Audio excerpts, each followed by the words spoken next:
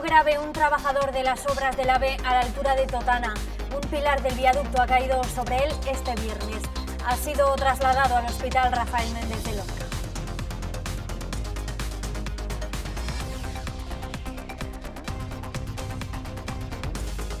La policía local de Águilas incorpora una unidad canina clave para situaciones de emergencia y para detectar sustancias ilegales. Arex y Loba ya se están adiestrando y empezarán a trabajar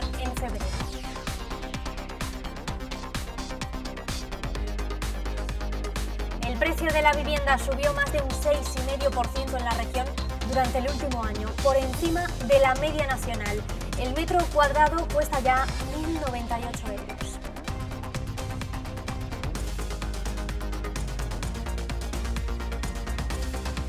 El servicio de taxi rural llegará a Las Terreras, Zarzadilla de Totana y Torre Alvilla con motivo de la feria. Se suma así estas tres pedanías a las 8 que ya contaban con este servicio.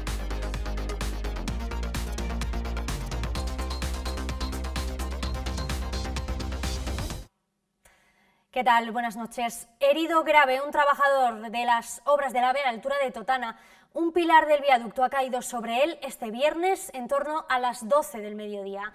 Se trata de un joven de 27 años que ha sido trasladado al Hospital Rafael Méndez de Lorca. El incidente se ha comunicado al Instituto de Seguridad y Salud Laboral de la región de Murcia. Una freidora podría haber sido la causa del incendio que se originó el jueves en una fábrica de patatas fritas de Saprelorca. Este viernes por la mañana los bomberos seguían trabajando en el lugar. Como están viendo, las llamas se reactivaban constantemente en el interior de la nave. Gran parte del techo ha cedido y uno de los muros de la fachada estaba ya agrietado.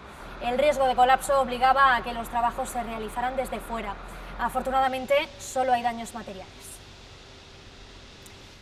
La Guardia Civil investiga a dos vecinos de Águilas por abandono animal. Al parecer, serían responsables de la muerte de un perro de raza mestiza en el patio de una vivienda. Gracias a la colaboración ciudadana, los agentes pudieron localizar al pequeño can, que ya estaba en estado de descomposición. El animal no tenía microchip ni cartilla sanitaria y tampoco había recibido ninguna vacuna. Estaba rodeado de una gran cantidad de heces y suciedad y sin ningún tipo de alimento ni agua. El informe veterinario reveló que las causas del fallecimiento fueron la pérdida de músculo esquelético y grasa y enfermedades transmitidas por los numerosos parásitos que presentaba. La Policía Local de Águilas incorpora una unidad canina que será clave para actuar en situaciones de emergencia y para detectar sustancias ilegales. También participará en actividades con escolares para concienciar sobre la responsabilidad que supone tener un animal de estas características. Arex y Loba, dos pastores belgas malinois, se encuentran en fase de adiestramiento y sus guías, siete en total, están formándose como tal. Se espera que esta unidad esté en pleno funcionamiento ya en el mes de febrero. De cara al futuro, Arex y Loba seguirán adiestrándose para la contención de masas y la defensa de los propios agentes a los que acompañan. Continúan los trabajos para adiestrar a esos canes en la base de la Policía Local de Águilas. Hemos hecho una planificación de tal forma que tenemos un representante, un guía en cada uno de los, de los turnos de trabajo de la Policía Local, lo cual nos garantiza eh, que al menos en tres ocasiones a lo largo de las 24 horas diarias, coincidentes con los tres turnos de trabajo, eh, los perros van a llevar su entrenamiento, tanto de adiestramiento como de detección, y van a estar perfectamente atendidos tanto en sus necesidades fisiológicas, higiénicas eh, e incluso físicas. Va a tener una trascendencia directa en cuanto a la tranquilidad vecinal se refiere, a la seguridad ciudadana y a la prevención de, muchas actividades delictivas que de alguna forma pues están directamente relacionadas con, el, con la tenencia del consumo de estupefacientes, que en resumidas cuentas va a ser una de, de las prioridades de, nuestros animales. Es una unidad canina eh, formada por dos perros, dos pastores belga malinois, un macho y una hembra, y además pues eh, seis agentes de la plantilla de la policía local y un subinspector que es quien nos acompaña ahora en la rueda de prensa, Francisco Navarro. Y bueno, pues eh, esta adquisición, esta creación de la unidad canina pues consiste en dar una tranquilidad extra a los vecinos de Águilas además pues de servicios rutinarios y servicios especiales pues en, en fiestas multitudinarias como puede ser el carnaval o eventos de verano. El precio de la vivienda subió más de un 6,5% en la región durante el último año, por encima de la media nacional. El metro cuadrado cuesta ya 1.098 euros. El precio de la vivienda continúa su escalada marcando nuevos récords. Yo llevo abierto cinco años, ha subido sobre un 40% de cuando yo empecé a lo que se está vendiendo ahora. El constante aumento ha hecho que el precio del metro cuadrado recupere este año niveles que no se veían en la región desde 2012. Que están haciendo negocio con algo que es básico para todas las personas, vivir en una casa medio decente. Los sueldos siguen estando igual, todo igual. Ha subido y yo creo que va a seguir subiendo todavía. Es el séptimo incremento entre las comunidades autónomas, situándose casi un punto por encima de la media nacional. Se ha notado mucho eh, respecto a por no se está construyendo en la zona. Llevamos 5, 6 o quizá más años sin construir. Las compraventas se moderaron, pero no impide el encarecimiento de los pisos. Son pisos que tienen 10, 15 años.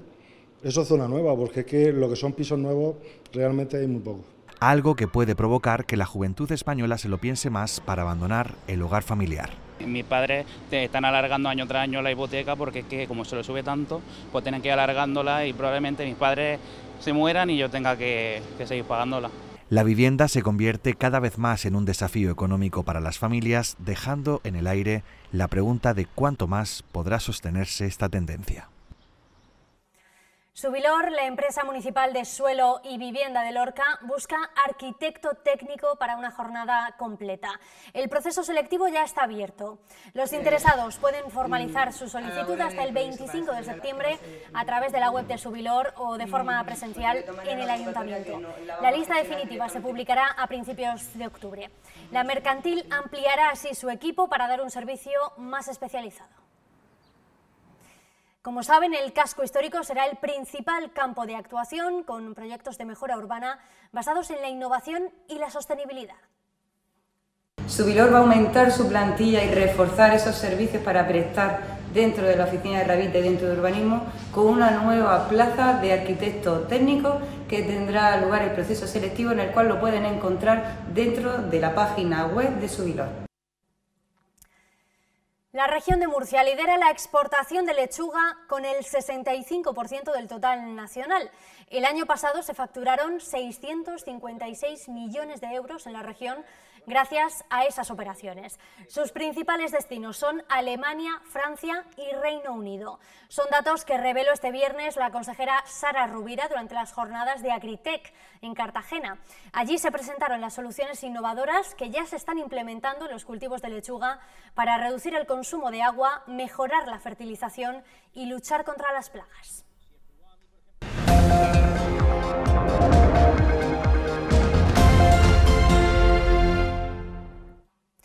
El Partido Socialista de Lorca denuncia la suciedad del Parque del Barrio de Los Ángeles a dos semanas del inicio de sus fiestas. Lamentan la dejadez, dicen, del gobierno local.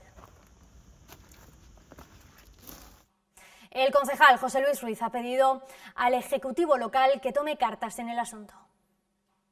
Un año de gestión del señor Bayonas en Policía Local y en Limusa, con responsabilidad de gobierno, y la situación no solo que no ha cambiado, sino que ha empeorado con respecto a lo que él mismo denunciaba. Está claro que el señor Bayona es un incompetente, que está encerrado en un búnker y no da cara, la cara ante los vecinos y que no es capaz de solventar los problemas reales que tienen los vecinos, en este caso en el barrio de Los Ángeles. Eso sí, es capaz de subir un 22% el recibo de Limusa y para que vean cómo está la situación no observamos ninguna mejoría. Por lo tanto, le exigimos que se ponga a trabajar ya y que dé solución porque esto es insalubre.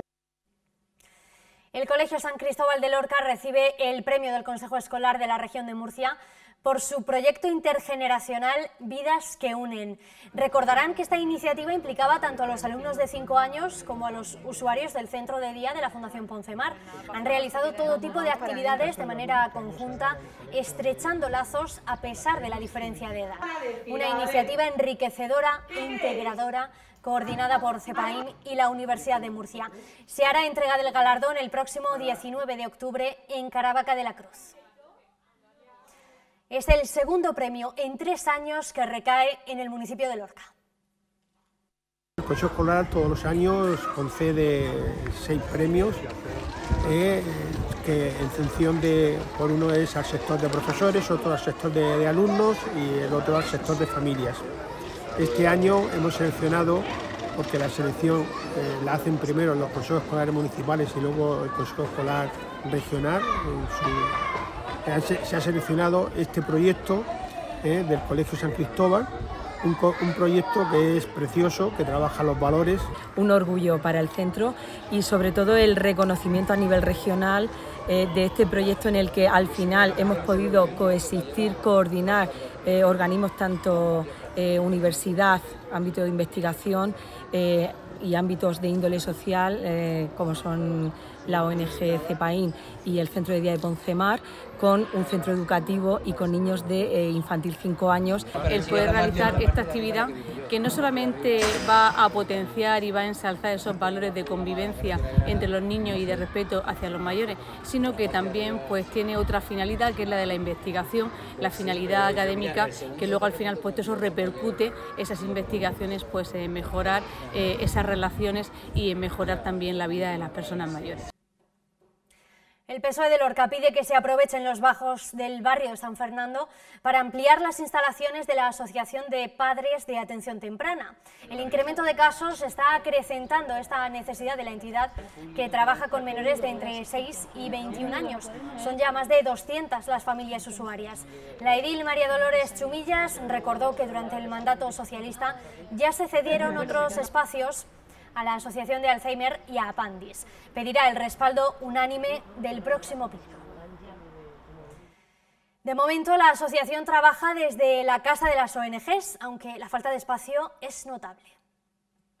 Los niños que acaban su paso por atención temprana de mayores de 6 años cada vez son más, los cumplen años, necesitan de su espacio para poder también llevar a cabo sus tratamientos. Muchos son diagnosticados después de estos seis años, que no todos son diagnosticados a la edad de, seis años.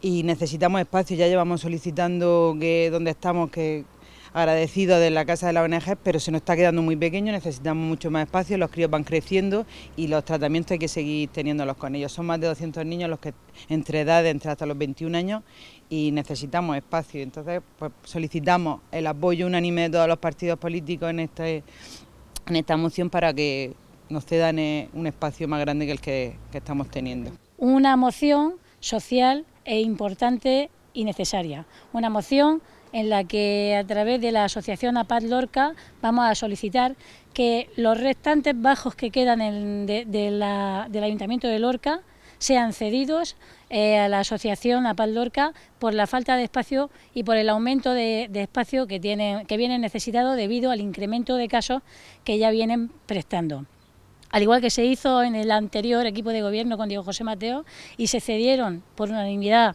las instalaciones para Alzheimer y a su vez un terreno para que Apandis pueda seguir creciendo y crear esa residencia. El Ayuntamiento de Alama de Murcia ha habilitado un local en el vivero de empresas para la Asociación de Familiares de Enfermos de Alzheimer. Desde allí prestarán orientación legal y emocional. Además, el martes a las siete y media de la tarde, la Casa de la Cultura acogerá una charla informativa sobre esta enfermedad. La padecen unas 800.000 personas en España. Lo único que se puede hacer es intentar eh, dar mucha información y mucha orientación a los familiares con mucho tratamiento no farmacológico sobre todo eh, para poder poner piedra en el camino de la evolución de la demencia. Eh, es muy triste ver cómo nuestros familiares queridos, nuestros padres, nuestras madres, nuestros maridos ya dejan de ser ellos en sí y es muy duro aceptar esta enfermedad. ¿no? Y por tanto hay mucho tabú, hay mucho miedo, hay mucho miedo a reconocer esa patología y queremos dar la mano a todos esos casos para poder acercar eh, bueno, el tratamiento y la buena dignidad que hay que tener a estos pacientes aunque tengan este, estos tipos de diagnósticos. En breve va a haber una, un sitio en el vivero de empresas donde pueden ir las familias afectadas o incluso con los pacientes si están en una, en una fase reciente de diagnóstico para que personas de esta asociación eh, les atiendan y les asesoren. También os queremos invitar a una charla que vamos a dar el próximo día 24 de septiembre a las 7 y media en la Casa en la, casa de la Cultura. En Lorca, el servicio de taxi rural llegará a las Terreras, Zarzadilla de Totana y Torrealvilla con motivo de la feria. Se suman así estas tres pedanías a las ocho que ya contaban con este servicio. Opera este fin de semana y del jueves al domingo de la semana que viene con horario nocturno. Ya saben que cada viaje tiene un precio fijo y pueden montar varios pasajeros a la vez para compartir el gasto. El consistorio subvenciona el 60% de cada trayecto para los vecinos que estén empadronados. Tienen más información a través del teléfono 970 10 53. La edil de vertebración del territorio, Mari Carmen Mendueña, dice que la cobertura del taxi rural seguirá ampliándose el año que viene. Taxi rural, que al fin y al cabo una, una movilidad demanda, se centra en, en diversas pedanías. De momento ya se está haciendo en 10 pedanías, en más de una decena aunque este año ha quedado una parte sin poder cubrir con el taxi rural, no ha sido por prevención, que siempre llamamos la prevención, sino que ha sido también por dificultades en los recorridos y, los taxistas todavía no tenemos todo el proyecto terminado. espero que esto del año que viene eh, sea totalmente eh, reconducido y el año que viene todas las pedanías puedan tener un servicio a la feria, a la feria y a las fiestas lorquinas. Los jardines de la Casa de Guevara acogerán este año la ludoferia y la guardería infantil. El servicio se prestará durante los dos fines de semana de 1 a 7 y podrá inscribirse cualquier niño entre 3 y 12 años hasta el límite de aforo.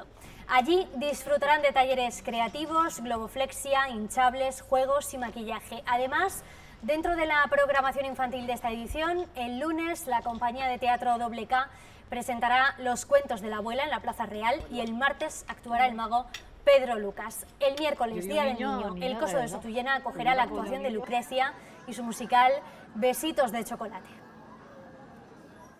El ayuntamiento reparte 80.000 bonos para subir a las atracciones a precio reducido. Este año hay nuevas incorporaciones en el recinto. Hay atracciones nuevas como el Megabro, que es una montaña rusa de niños. También vienen atracciones para mayores como es la tradicional barca vikinga, que es muy, muy conocida y llevaba años sin, sin ponerse, transforme. En realidad pues vienen alrededor de unas cuatro o cinco atracciones nuevas. Desde el Ayuntamiento de Lorca y desde la Concejalía de Festejos se han repartido 80.000 bonos que van a poder tener pues, todos los niños para poder disfrutar de las atracciones en los días lunes, martes y jueves, porque el miércoles es el Día del Niño y está la actuación de Lucrecia. Entonces hemos puesto lunes, martes y jueves para que puedan disfrutar de este horario en el horario de 6 de la tarde a 9 de la tarde y disfruten pues, de las atracciones a un precio de, de 2 euros. Lo dejamos aquí, se quedan ahora con la información deportiva. Adiós.